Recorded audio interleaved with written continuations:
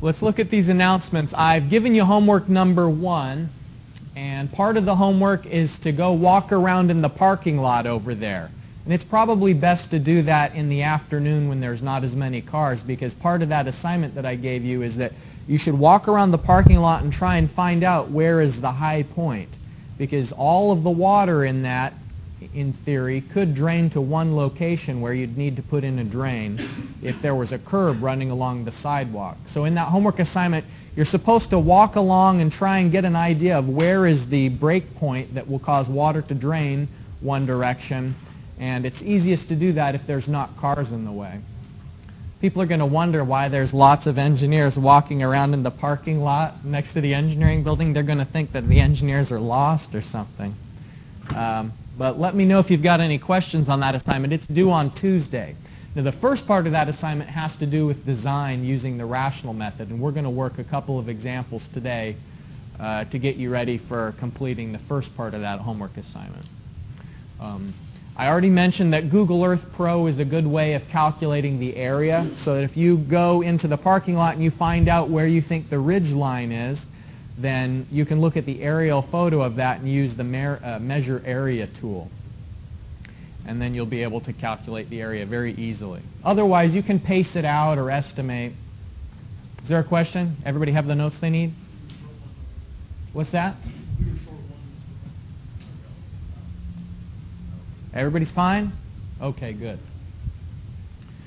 Uh, also yesterday I sent you an email about installing StormCAD in your computer. And Bentley, who we pay a subscription fee to, allows students to download.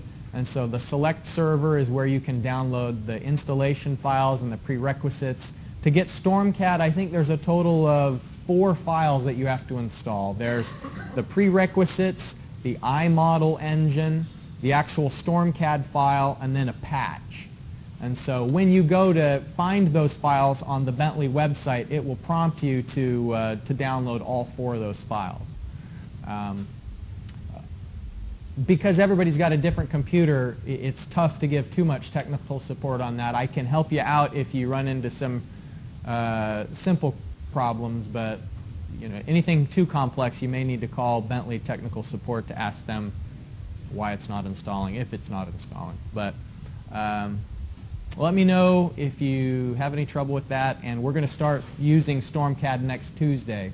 We'll have a uh, most of the class lecture on Tuesday. Is there an extra copy of the notes? There should be, because I printed out 19.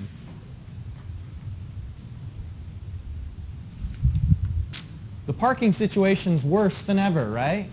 I got here yesterday at uh, about 8.50 and there was no faculty parking available. I, I could barely get a spot at the football stadium. So. All right. Well, today we're going to talk about, oh, and there's a quiz next Tuesday. Quiz 1 next Tuesday. Um, so just to reiterate, I think that uh, being able to describe concepts is an important part of this class. And so you may want to look over the concept inventory I gave you on Tuesday and be able to describe in your own words some of the terms that we've covered so far. All right. Um, here is the example that we're going to take a look at today. And uh, everybody has a copy of that handout. And so let's look at the network. Um, there's a lot going on in this map. And in a way, I wish it was in color. It would make it a lot easier to understand. But let me do my best. We've got a, uh, like a suburb and you can see that they're streets. Oregon, California, these are all streets with the dashed lines. And then this is the, uh, the suburban area. Now the long dash dot, long dash dot, that is delineating the areas that feed into inlets. And so 1.1 is a catchment. This is a drain that's in the middle of the road and stormwater will flow to that drain.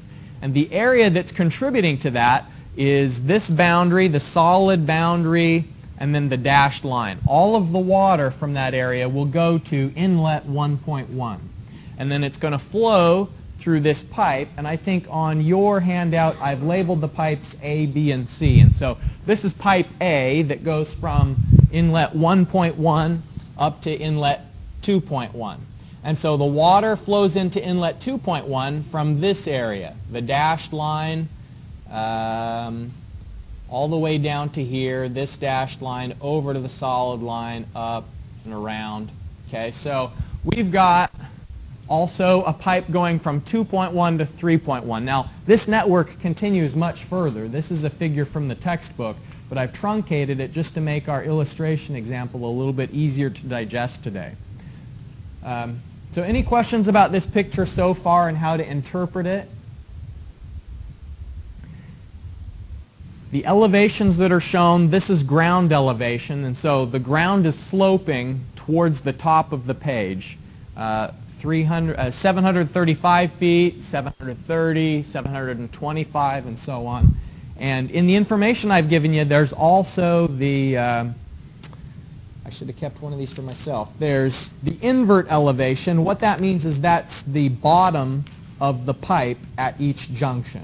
Uh, that's where the, the manhole is down at. If you've got a street at ground level, and then here's our grate where water comes in, and then there's a manhole that goes down, and there's pipes. And so the invert elevation is talking about what is the elevation here. Invert elevation. And if you know that this is 1.1 and here is inlet 2.1. And it also has the grate where water can come in. The water is sloping, uh, uh, water is following the slope. And the slopes are defined in the pipe table. It tells you the length of each pipe, the slope, and then the upstream junction, meaning where the water is coming from, and the downstream junction means where the water is going to. And so the water that's going in there is from the catchments 1.1, 1.2. I've identified the area of each catchment, the C value, which remember that runoff coefficient gives an idea of how impervious the soil and the land use are. And so if you have a high C value like catchment 1.2, it looks like that's a lot of concrete and a lot of roofs because it has the highest C value of 0.8. But then catchment 1.1 has the lowest C value of uh, 0.65. What we're going to do today is set up a spreadsheet that kind of automatically calculates how big the pipe size should be. And automatically is probably too optimistic a word for what it does because we're going to be typing in the equations directly. On the second sheet of that paper, at the bottom is Manning's equation that's been rearranged for diameter.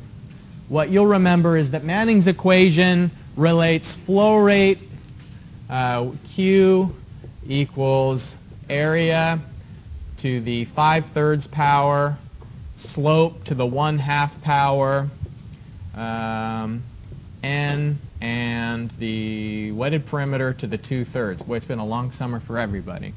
So that's Manning's equation. And what we've done at the bottom of that uh, spreadsheet printout, which is actually the solution to the example we're working, is rearrange Manning's equation for diameter, where we know that um, area is pi d squared divided by 4. So if I substitute in this expression for area and the wetted perimeter for a pipe that is uh, full, so the wetted perimeter is um, pi d, uh, no, it's uh, d divided by 4 because its um, hydraulic radius is area divided by wetted perimeter. So the wetted perimeter is just the uh, pi d. That's right, pi d. So the uh, formula that's there is rearranging Manning's equation where we've got some m value that depends on the unit system we're using. And in this example, we're going to use traditional units, BG units. The n value is the roughness of the pipe. And at the top of the solution, it says, let's assume the n value is 0.014 and then the slope that we should use is the given slope of the pipe itself. So what I'd like you to do is open up Excel and start to type in the column headings and then we're going to go through together how to set up the solution of this example. So we're going to want to have the uh, pipe name, length, slope, upstream junction, downstream junction, area, the C value, C times the area, and then sum of C times the area.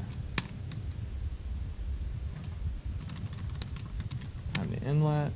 Basically just copying down all of the headings so that we can follow a pretty organized procedure.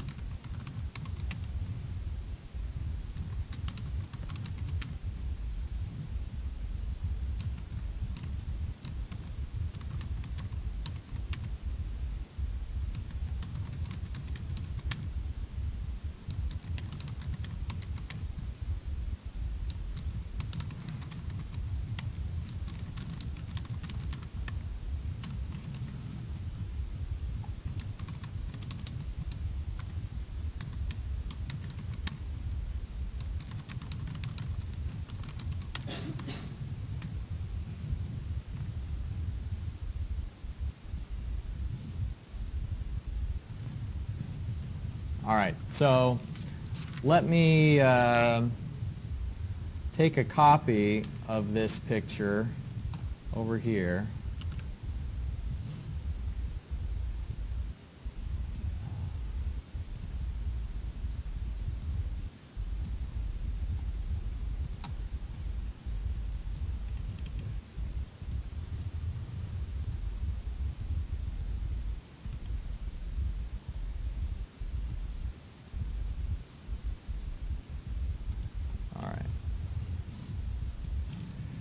So what do we know about our network? Um, we know that there are three pipes that we're going to be designing, pipe A, pipe B, and pipe C.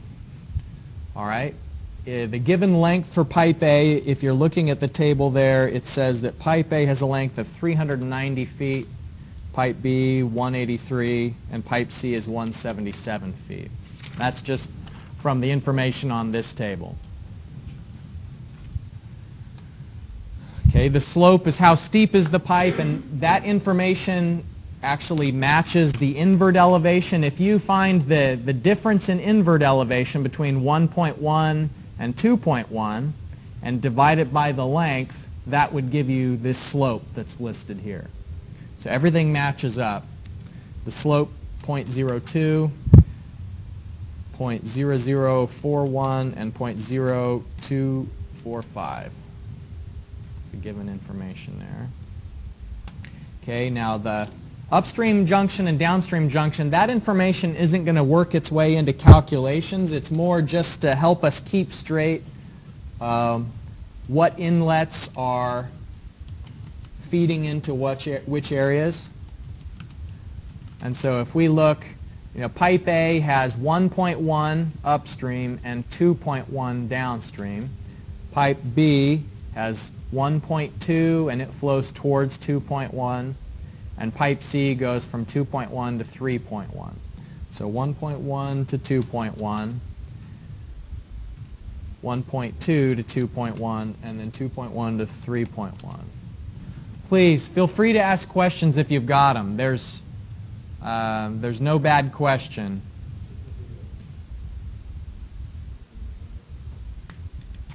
We've got 1.1 to 2.1.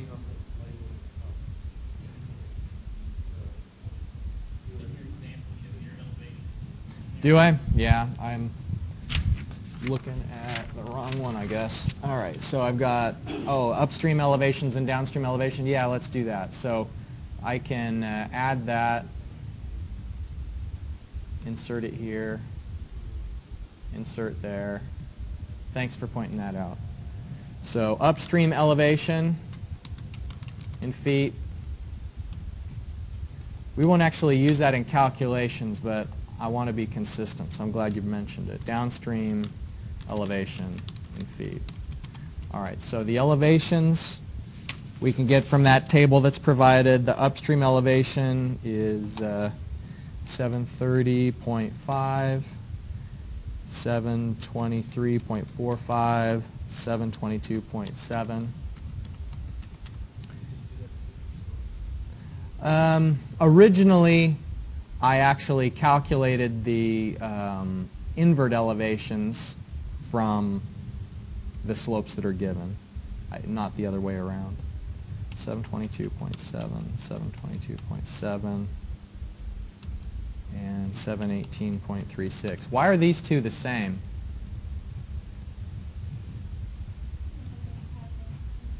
That's right.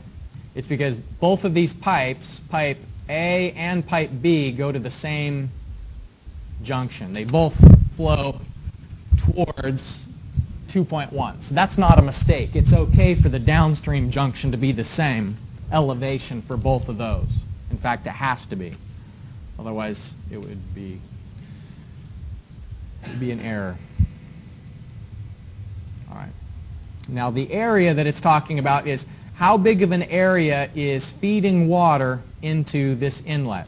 And so uh, inlet 1.1, the area there is uh, 2.2 acres. It is um, 1.2 acres and 3.9 acres is feeding into junction um,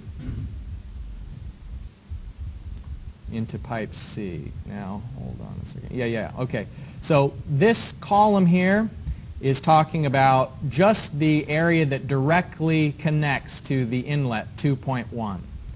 So that 3.9, even though through pipe C, there's water flowing from this inlet, that one, and that one. There's three inlets that feed this pipe. So far, we haven't done any summing operation. This uh, 3.9 that I just typed in, that is only the water that enters pipe C through inlet 2.1. Later on in the uh, sum of CA column is where we will add up the three components of the flow. So that's an important point uh, to mention is that this column, and there is, uh, by the way, these definitions that saying what each column consists of. And so for the area, I guess uh, area is self-explanatory. It looks like I didn't give you a definition for area, but I'm giving you one now. It's only referring to the flow that's coming in from the inlet that is the upstream inlet. And so area column the area that contributes to flow considering the upstream junction that is listed in that row. Okay. Now the C values are just directly from the table data that's provided. So the C values that we have for catchment 1.1 is 0.65, 1.2 is 0.8, and 0.7 is the C value for catchment 2.1. So if it makes it more understandable, we could call this the upstream junction or we could call it catchment because the upstream junction is really what defines the catchment for each of these pipes, at least the, uh, the catchment that's directly connected to the inlet of that pipe. Now C times A is just what you'd expect. We're going to do a formula now, so if you type equals, that tells Excel that it's going to begin a formula. So equals the area times the C value. So it's the, uh, the product of those two columns. If we type enter, then it automatically multiplies 2.2 and 0.65. That's where the 1.43 get comes from. Okay, so again, that's equals area times C value. And then um, we can, this little corner here, we don't have to type in the formula three times. We can just drag it down. So you notice that there's this uh, extra thick square that's green. If we click there with the mouse and drag it down, then it applies the same formula to each row. So it is, if I highlight here, it's this cell times that cell. If we go down, it's this cell times this cell. So there's a couple of ways to get that. We can either click and drag like I just showed you, or if we want the cell to fill in, you can just double click on that corner and automatically fills the formula down. So I double click there and it fills this, the formula through. Any questions so far? Okay, now sum of the CA is a little bit tricky. What you have to ask for this column is um, what's the total amount of contributing area upstream of that pipe. So for pipe A, the only water that is in pipe A, it only comes in from one junction. And for pipe B, it only comes into a single junction. But now pipe C has water coming in from three different locations. It has the water coming in directly through the inlet that's upstream of that pipe. It has water coming in through pipe A and water coming in through pipe B. So in this row, we're going to have to consider the sum of all the CA values. So it is just equal to that for the first one because there's only one inlet.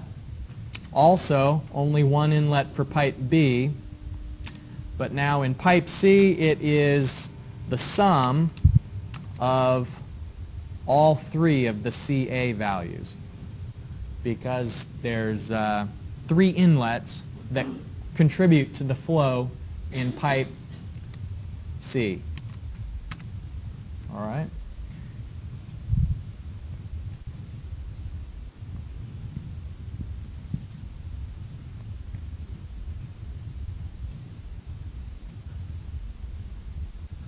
Looks pretty good.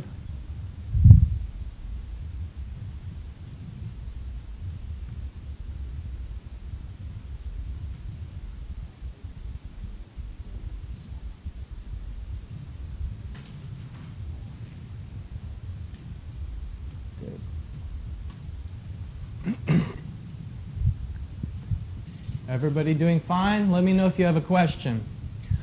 All right, time to inlet says how long does it take for the water to travel from the edge that's furthest away from the inlet till the inlet. So it's the flow over the surface. If it's water moving over a flat grassy surface, the time to inlet would be very high.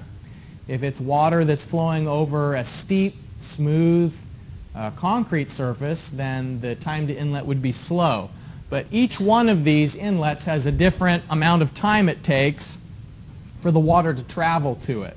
And so that's provided in the table data where it says, uh, in this column it says time of concentration. That's what we're going to use in this time to inlet. So the time of concentration where it says 11.0 minutes and then for the upstream catchment of 1.2, it is 9.2 and 13.7. That's how long it takes for the water to flow to the inlet in each of those cases. All right. Now, flow route is going to be something that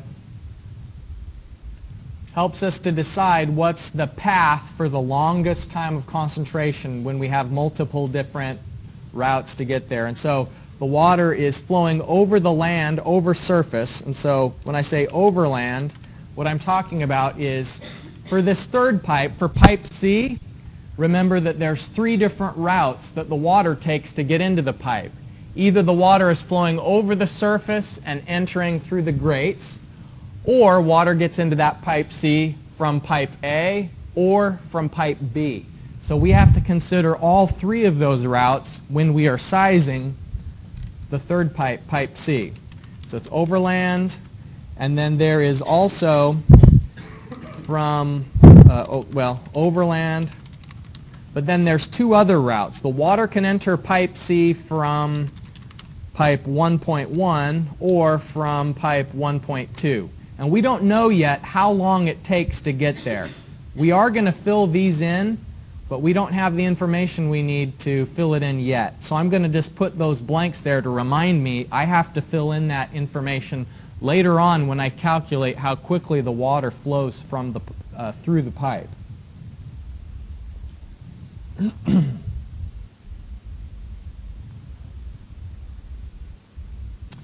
All right.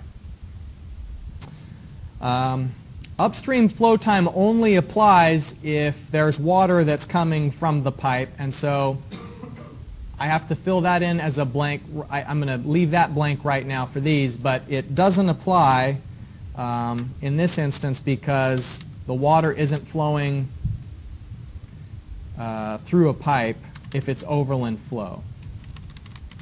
So I'm just going to put zero for those columns.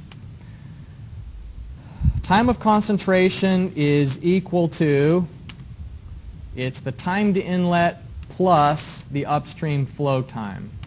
So if I add the two together, it's the, just going to only be the time to inlet if it is the uh, overland flow route. But in some cases, if you have a really long pipe, then what we would have to do is use the, uh, the longer of the flow routes if you're considering the, the one that includes the pipe. So I have another blank here that I can't fill in yet. I have to complete all of the overland flow calculations before I can do the pipe calculations. And so I'm filling in these just to remind me I have to come back to it later and do the calculations.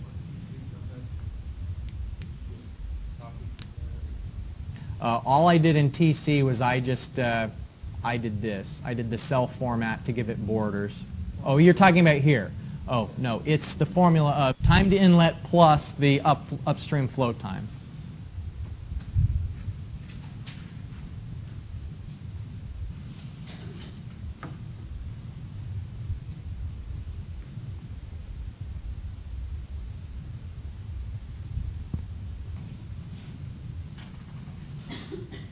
Some of these columns seem re repetitive. Um, but later on, when the network gets more complicated, you have to start making decisions about what's the longest flow path. And it won't be as repetitive if you have a complicated network where there's lots of different routes that water can take to get to a certain location. So um, it seems repetitive now, but it always won't be. T sub D is also going to be just this if it's an overland flow route but for this one, we don't know yet because this T sub D has to look at the longest of the T sub, Z, T sub C values. And so when I come back to pipe C, pipe C is the complicated one because remember, water enters pipe C from three different spots. It can either come in directly, it can come in from pipe B, or from pipe A. And so this final column that I'm filling in right now, the T sub D, asks the question, what is the longest amount of time it takes for water to get into the pipe? Is it the longest for the water to flow over the surface and into the pipe? Or is it longer for water to flow over this surface and then travel through the pipe and then arrive there? Or is it to flow over this surface, enter the pipe, and then the travel time as the water moves through the pipe? And so there's three different possibilities and we have to select the longest of those three possibilities. But where it's just overland flow, then we select, already we know there's no multiple options that have to be considered. Now I is the uh, rainfall intensity, and you have a table here, the IDF table, intensity, duration, frequency table, and you're going to use the T sub D value to find out the rainfall intensity. So if the uh, T sub D value is 11 minutes, you go here and you find out from the IDF table that at 11 minutes the rainfall intensity is 4 inches per hour. And what this table means is that if a storm is very short, it's easier for that storm to have a high intensity for a short amount of time. But the longer a storm is, you don't have the same intensity during that entire storm duration. So a storm that lasts one hour is going to have a lower intensity than a storm that is, uh, is very short. So think about a running race. If you have a long duration running race, the intensity or the speed of the race is going to be lower than if it's a very short duration sprint. And, you know, that's an analogy to how storms are. A storm that lasts just a short period can have a higher intensity. So in our case, if you have 11 minutes, then from this table, it looks like 11 minutes is 4 inches per hour. 9.2 minutes, if we go to the table, it looks like at 9.2, it is an intensity, I guessed, of 4.3 inches per hour. Now, for Q sub p, that is where we're going to find the uh, Manning's equation. I'm uh, not Manning's equation, sorry, the, the rational method. Q equals CIA. So equals CA, so CA times intensity. Remember the formula that I showed you last time. We already have one column that says C times A, and so we're, we're multiplying the CA column times the I column.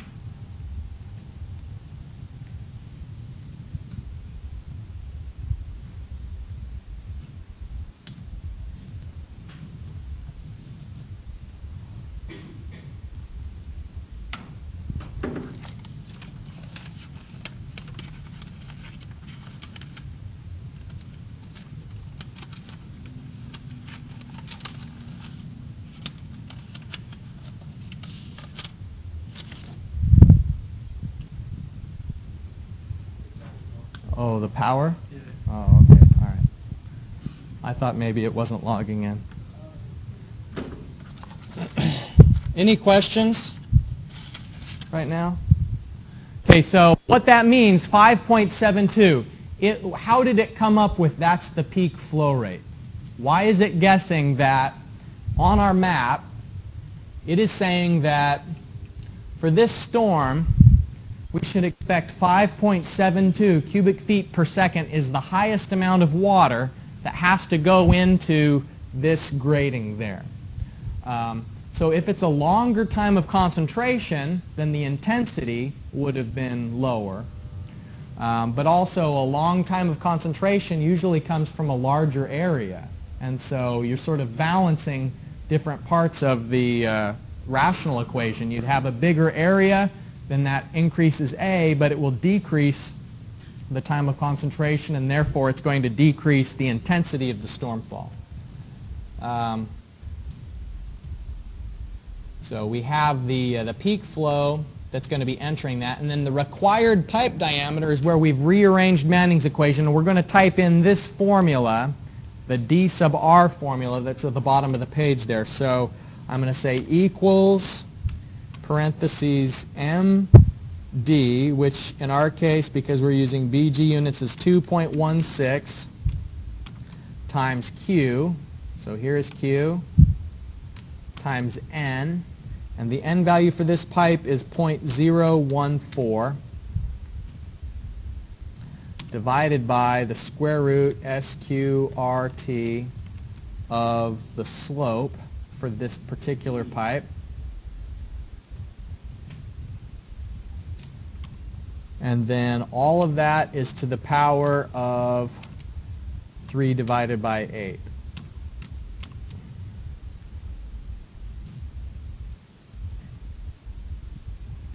I'll leave that formula up for a second if you want to look at that.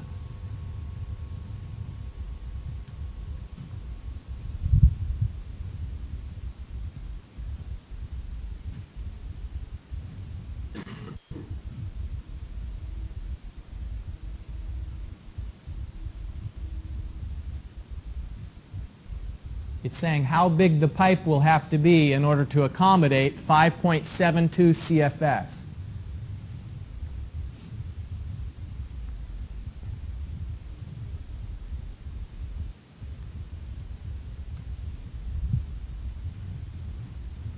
Should say that it's required 1.08. Yeah, okay.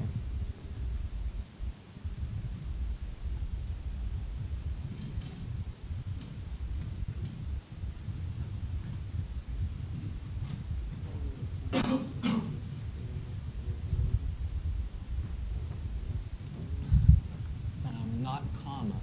Uh, maybe. Do you have this set up in Portuguese or style? Okay. Yeah, comma is fine then, right? Okay. Yeah, that's fine. Now, uh, square root of, and now you go to the slope. Yeah. Close parentheses. Close again, parentheses, power. Yep.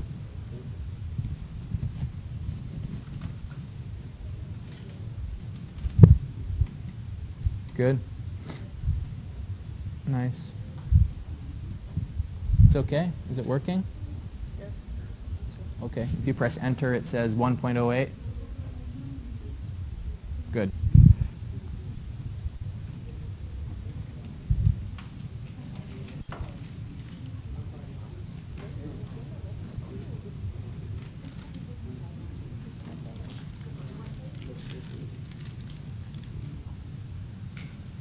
Is it working okay? So for here, it's the slope. So you'll need to, uh, yeah. Yep. So And then close parentheses again. And then to the power of 3 divided by 8. divided by Yeah. Perfect. There it is. All right. Got it? Okay, so we find out the pipe required is 1.08 feet. Now there's only one problem. Like I mentioned last time in class, they don't make pipe sizes exactly 1.08 feet. The nearest pipe size that's available, this D sub n, that means the nominal pipe diameter, you can only buy either a one foot pipe or 1.25. And if we use a one foot pipe, it will be too small. And so we have to round up to the nearest commercially available pipe size. 1.25 is the size that's actually available. And for flow velocity, um, we, we will do Q, uh, we will use V equals Q divided by A. And so equals the flow rate, Q, divided by the area, assuming that it's flowing full. We'll keep it easy.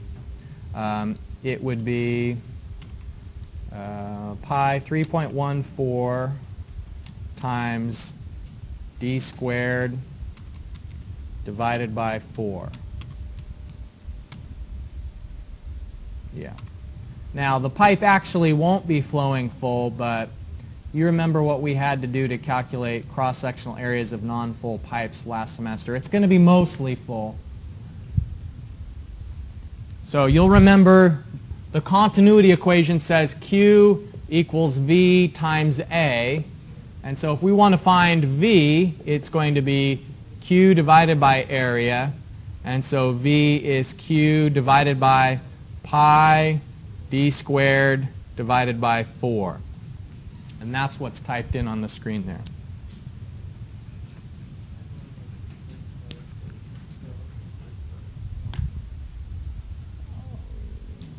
Okay, let's see.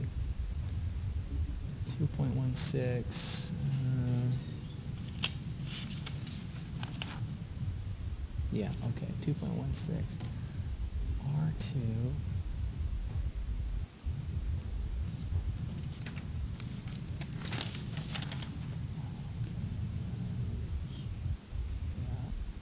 times point oh slope. Ah, too many zeros. Point zero two.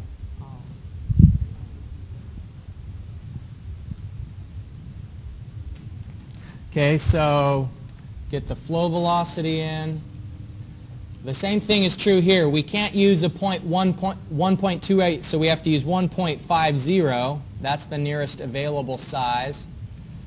And so then this will calculate the velocity based on that pipe diameter.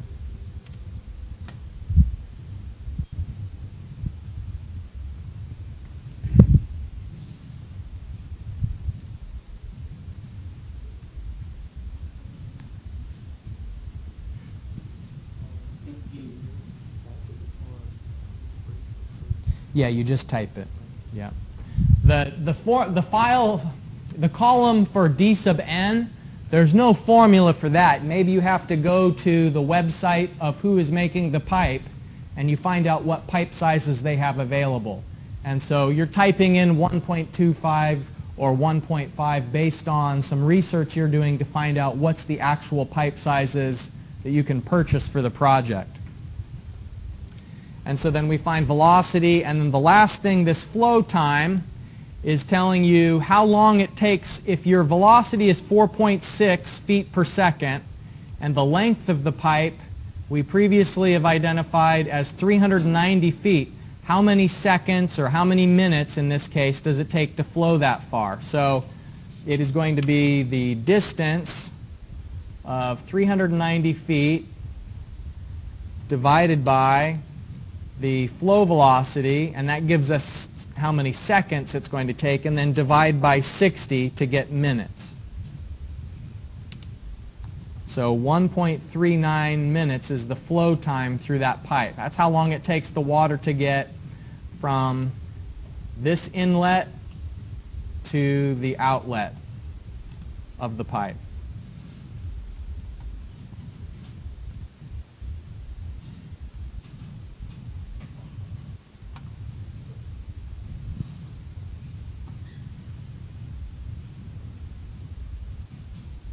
Time flies.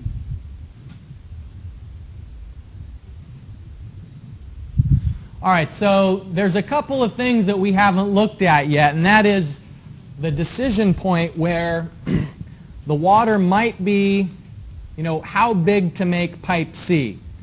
We have to look at is the amount of water in pipe C going to be governed mostly by the flow that's coming into the inlet or the flow from the pipes that are connected to it.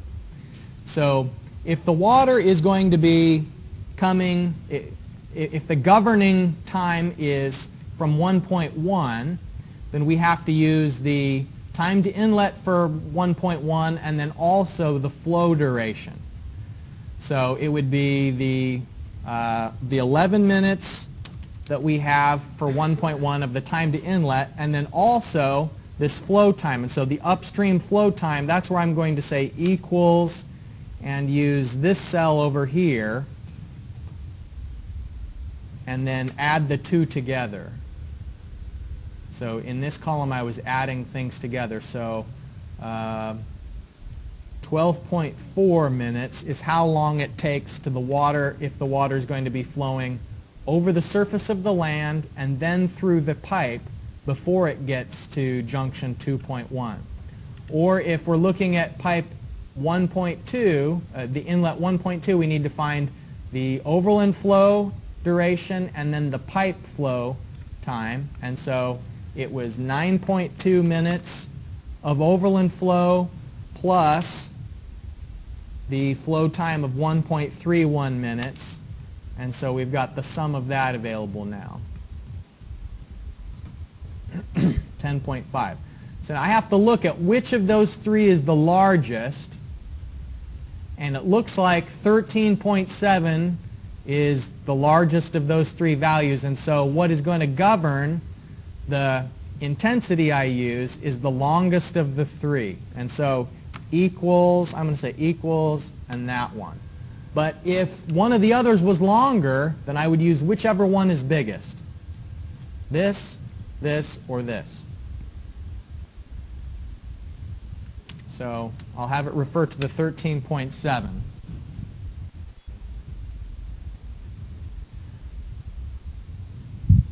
And then remember the way that we find the intensity is we look at the table. So for 13.7 minutes, it looks like the intensity is, my guess was 3.68. Boy, that's, that's awfully optimistic.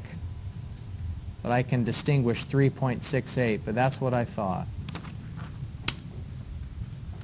And then the peak, I can use the same formula. I already had the equation there, so I can just drag it down, and it will find, using Manning's equation, what the peak flow is. Boy, that's really big. All of a sudden, it's so large. Why is that 18 CFS? Why is it so much bigger than the other two were? Any ideas why 18 CFS when the other ones were just 4 or 5 CFS? That's right. It's got all three of the areas. It's, it's a lot of flow going through that pipe because it's the water that's coming into this junction and it's the flow from both of the other pipes. So all three of the connected areas are contributing to that peak flow. Okay, and the diameter required, I can carry that equation through. If it is uh, 1.62, the next commercially available pipe size would be 1.75. And you get it from the IDF curve. And actually, what I'm doing here is uh, trying to make one of the author's examples a little bit easier to understand. And 3.68 is the value that's from that example. So I was just trying to be consistent with that example. If I'd looked at it myself, I probably wouldn't have said 3.68. Maybe I would have said 3.7, you know. But that's what's in that author's example, and so I stuck with it. so I can get the flow velocity and the flow time. All right.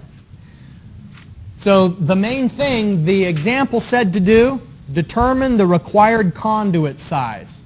Basically, the example is asking how big should the pipe be?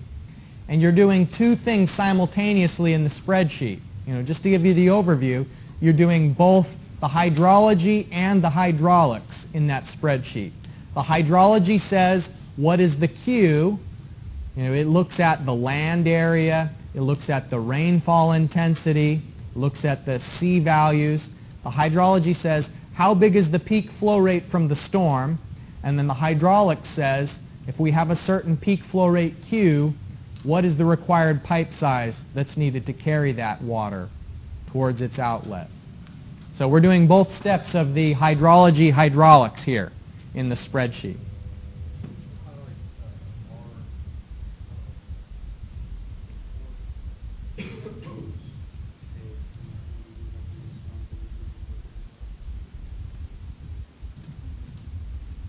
What's that?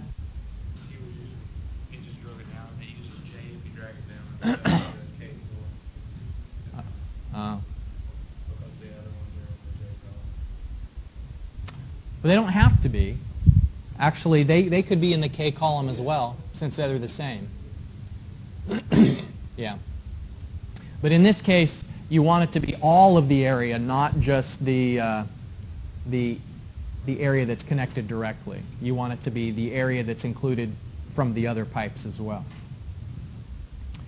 Okay, so that's all the time we can afford to spend on this example. Save the file that you've been working on. If you haven't already, save it because on Tuesday what we're going to do is we're going to use um, StormCAD to double check this. You have to learn it the hard way before I let you do it the easy way. As you might guess, StormCAD is a lot simpler than typing all this out in the equations by hand. But we'll use, we'll use this as one of our illustration examples when I'm teaching you StormCAD on next Tuesday. So save your file. Any questions before we move on? Okay, that's all we're going to be using the computers for today. You can uh, shut the computer down now. You don't necessarily have to put it back into the cart right away, but we won't be using the computers anymore today. So column, the column, in the example that we were just doing, what did uh, this column come from? You know, how did we know that it takes 11 minutes? I should have said time to inlet is in units of minutes, by the way. How did we know it took 11 minutes for the water to travel over land to the outlet 1.1? Or how did we know, you know, from, from here, how did we know it was 11 minutes? Or how could we find out the amount of time that it takes for water to go into junction 1.2 from the edge towards here? Well, the rest of today we're going to be talking about time of concentration methods. And overland flow is what's talked about when um, you have not, not water that is in a channel, but it's just water flowing over the surface, and it's called uh, Hortonian overland flow. And you maybe have seen the movie Horton Hears a Who, right? So I don't think this is named after that Horton necessarily, but if it helps you remember that it's called Hortonian overland flow, um, the infiltration capacity of the land has been exceeded. So, you know, water can percolate into the soil pores only at a certain rate. And when the rainfall exceeds that rate, then there's going to be runoff. And so runoff that's flowing over the land as a sheet or in very shallow concentrated flow, um, we have to have some methods for calculating the velocity of that flow over the surface. And the methods that we're going to look at today do that but they have a variety of different required data. Um, so the kinematic wave is one of the most sophisticated ways of calculating how long it takes the water to flow from one point to another over the land. And if you look at the different parameters that go into this equation, it gives you an idea of what sort of data you have to, available, have, to have available to make an estimate. So this formula says that if you want to find out how long it takes, the time it takes for water to flow from one point to another, obviously you need to know the length that the water is flowing. So L is one of the most important variables because if water has to flow a short distance, it's going to take longer, uh, less time than if it's a long distance. So that's obvious. This formula also takes the n value into account, n value being the Manning's roughness coefficient. And that's in the numerator of the equation, which means that if you have a high n value, or a rough surface, that's going to increase the amount of time it takes to flow from one point to another. So the n value for a grass-lined area might be uh, you know, 0.05 compared to the n value for a, a concrete area, 0.015. Um, so a big difference in the n values is going to give you longer time for a surface that is more rough. Now, down in the denominator is the slope, for one thing. And so what's the effect of having slope in the denominator? Denominator. Think about a big slope. If you have a big slope, just conceptually, you're expecting that the water will flow fast if there's a big slope. And so it's going to take less time for the water to flow from one point to the other. And so that's what happens by having the slope in the denominator of this equation is that if you have a big slope value, that means it's very steep. And so a large slope is going to decrease the amount of time of concentration. So hopefully that should be self-explanatory. But now I, intensity. Why is it you think that the rainfall intensity is in the denominator of this equation? And what does that mean? What's the practical effect of having the rainfall intensity in the denominator? The harder it rains, the quicker the water it goes. Yeah, that's the effect of it.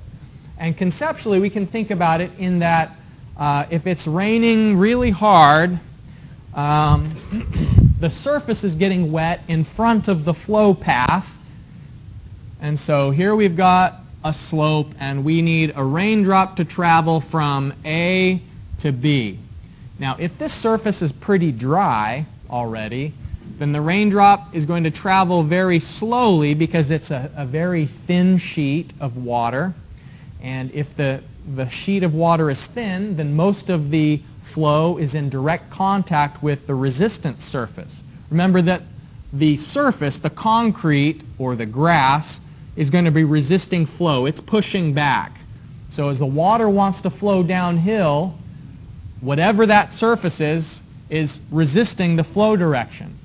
But if it's raining really hard, then there's going to be already a cushion of water on top of the flow surface. And so the raindrop is traveling on top of that cushion of water and it's further away from the resistant surface that's trying to hinder its progress towards B.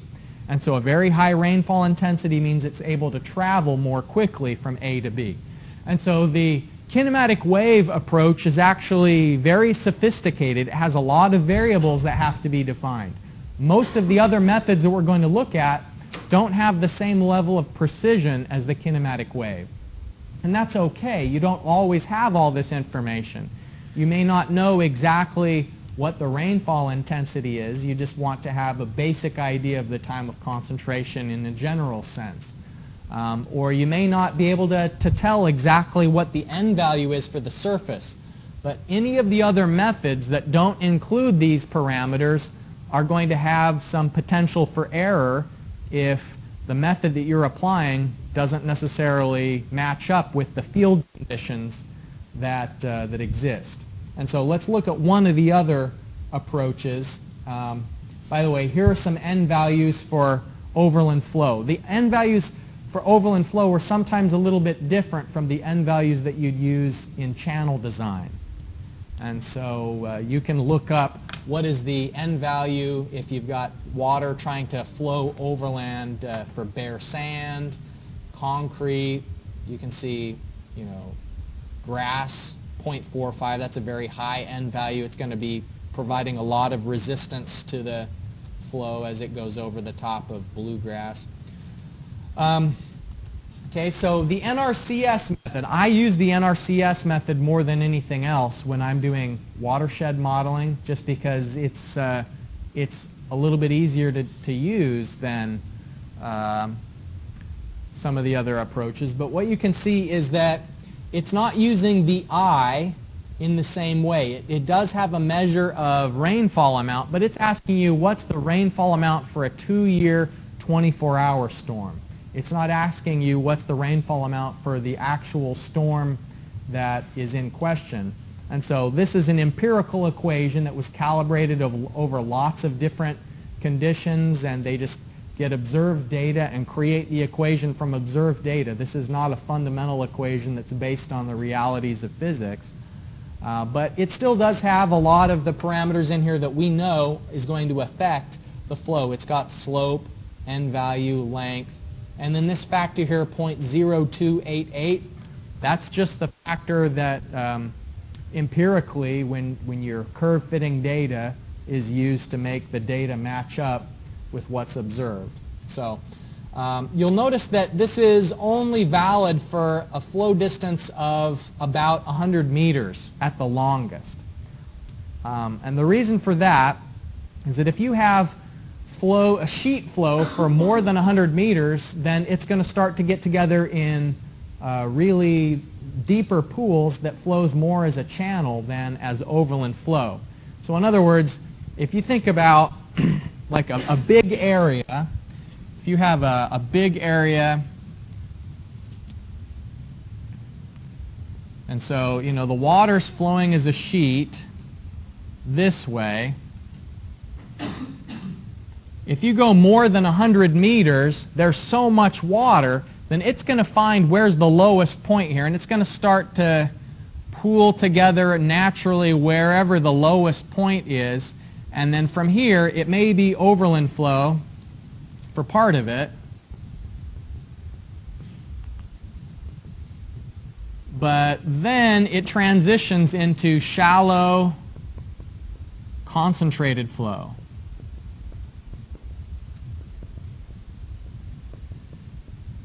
And overland flow, you're finding how long does it take to get from point A to point B, and then shallow concentrated flow is just um, it's acting more like a channel and so you'd maybe have the low point of the parking lot and you'd start to use Manning's equation to find the flow velocity and um, so these all have upper limits of how long you can say is valid for the time of concentration.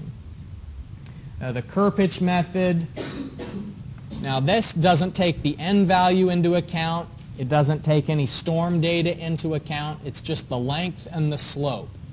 And there is correction factors that you use based on if it would be a grass line channel versus concrete channel. It has these correction factors, but in this case it says that it's valid for watersheds less than 80 hectares for the overland flow component of the, the flow inside, inside that watershed.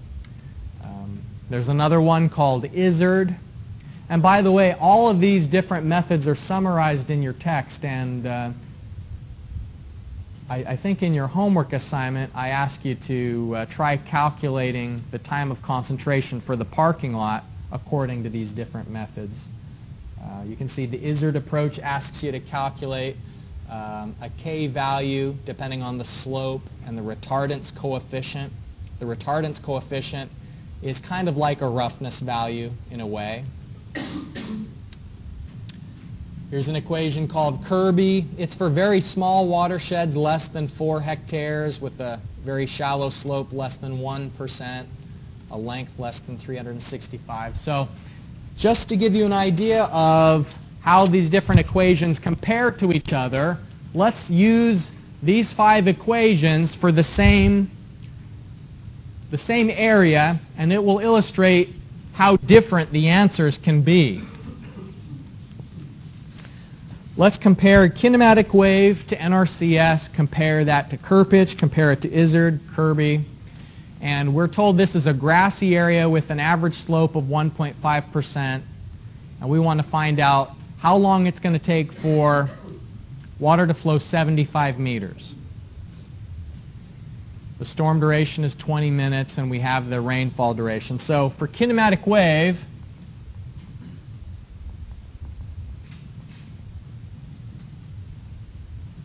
the formula here, the time of concentration is 6.99 n times L to the 0.6 power,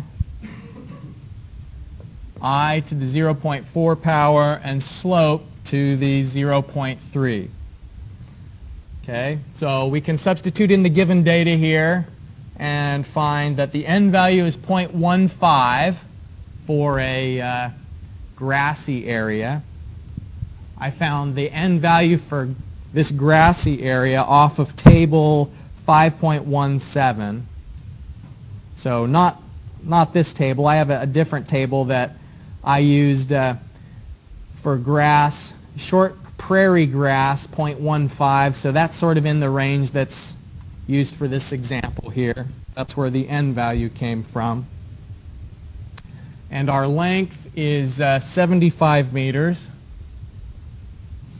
Take that to the 0.6 power. Now the rainfall intensity here is given as 45 millimeters per hour to the 0.4 power and then the slope is 0.015 to the 0.3 power. Okay, so put all those into the calculator and it tells us it's going to take 22.96 minutes.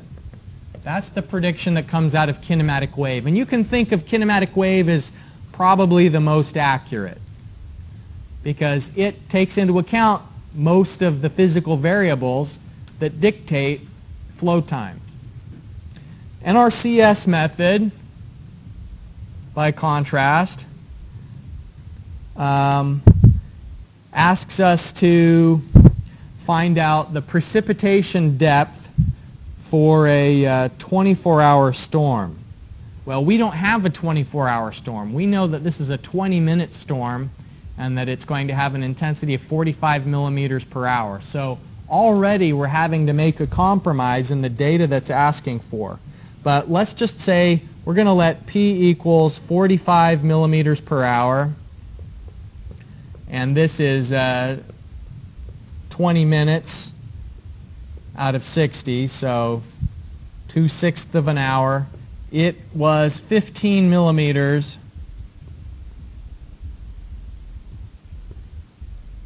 1.5 centimeters is the precipitation depth. If it was a 24-hour storm, it would probably be more than that, but this is just the rainfall data that we're going to use for the comparison. And so the, uh, the time of concentration for the NRCS method is 0.0288 times N times L to the 0.8 power. The two-year storm precipitation depth to the 0.5 power and slope to the 0.4. And we'll substitute in the known data for that, 0.0288. The n value that we're using is 0.15 for this grass and 75 meters of length to the 0.8 power. And we're dividing by 1.5 centimeters of rainfall depth to the 0.5 power and 0.015 is the slope to the 0.4 power. Okay, that works out to a duration of 0.875 hours. So 52.5 minutes is the prediction for how long it's going to take. Now, part of the reason why that's so much bigger than here is that it's an overestimate because we probably should have more rainfall than this 1.5 centimeters. Remember that the storm it's talking about here, it said that it's 45 millimeters per hour for a 20-minute storm. But the NRCS method, this P2 is actually asking how much would there be during a 24-hour storm. So it's going to be more depth. And since that's in the denominator, that would bring the value down a little bit. So that's why this is uh, probably too large. Yeah? Why would you multiply by Um, because this intensity is for a short duration storm. And remember that the shape of the IDF curve looks more like this. So this is intensity, and this is time. And so what we had was like a, uh, a 20-minute storm. And if we multiplied, if, if we just said, let's extrapolate that same intensity over 24 hours, that would be really overestimating how much water there was. What we probably ought to do is find a curve, and so find one where it says, you know, up here the intensity for the 20-minute storm was 45 millimeters per hour, and, you know, find a curve that does that, and then go find the 24 hour, and then go back over that would be, you know, one way of approaching it. Good question. Okay, any other questions uh, so far on the NRCS estimate? All right, we've just got a couple more minutes. I want to illustrate the, uh, the Kirpich equation. Okay, Kirpich says that the time of concentration will be 0.019 the length to the 0.77 power, and the slope to the 0.385 power. All right. Um, so that is 0.019. The length was 75 meters to the 0.77 power, and the slope was one. Uh, sorry, it was 0.015 to the 0.385 power. Now that tells us it's only going to take 2.66 minutes. But if we go back to the Kirpich equation, it says that there's a multiplier for flow in, uh, in general overland flow, you double it. General overland flow. So uh, still, even when we do double it, so times 2, it gives us 5.32 minutes. That's still really low compared to what we say is the, the most accurate. And so why was Kirpich not very good? What didn't the Kirpich equation take into account? Well, it didn't take the, uh, the true n value into account. It just has this rule of thumb of doubling it. Um, and it also didn't take into account any rainfall intensity. So that gives you an idea of one of the weaknesses of throwing out some of the data that you otherwise would have. All right, we're out of time for today. The, the Izzard, let me just give you the values for those. If you want to plug the values that we've got, the Izzard would end up having a time of concentration of 38 minutes, and the Kerby ends up giving you an estimate of 18.8 minutes. If you want to go through and calculate those, those are the values that we should be looking for. Um, the main point of the example is just to illustrate the wide range of values you can get in estimating time of concentration. So let's jump back to a couple of announcements and refresh our memories that you've got a homework assignment due on Tuesday. The majority of that work that you need to do is rational method design like we had in the example today. It's a pretty simple couple of networks that it asks you to do in the homework. And also have StormCAD installed on your computer for next Tuesday and then that'll allow you to work through the in-class examples we're going to do on your own machine rather than on the uh, tablets that are available.